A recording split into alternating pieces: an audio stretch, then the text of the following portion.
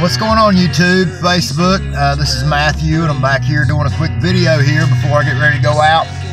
Uh, I got a couple of packages in the mail. I got a fan pack and I got a package off of eBay here. Um, fan pack is from the Milwaukee uh, Brewers. I'll cut, turn that around there and show you. And um, I've already looked in here so I'll just reach in real quick and share with you all uh, what they sent me. The good people of Milwaukee, Wisconsin. Uh, to start with, we got a, uh, three of these right here. 2018 team schedules, pocket schedules, fold out. Uh, those are pretty nice, and um, I've got several from uh, a lot of major league teams so far uh, this year during spring training.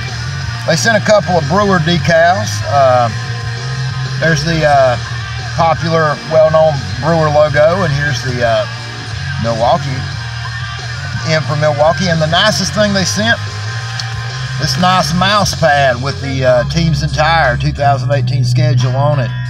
Uh, nice little mouse pad there. Uh, a whole lot better quality stuff uh, when you get something like that than I'm used to getting in a lot of these fan packs, but I'm not complaining because it's all free.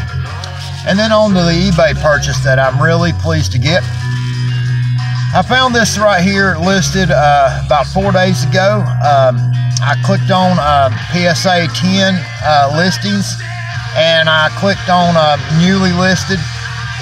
This came up and I couldn't believe it. Uh, it's not worth a whole lot. The card isn't uh, in raw condition and this, this card graded is not worth a whole lot. But um, I really could not believe that a PSA Gem Mint 10 of Francisco Lindor would be available for 99 cents at a buy it now price.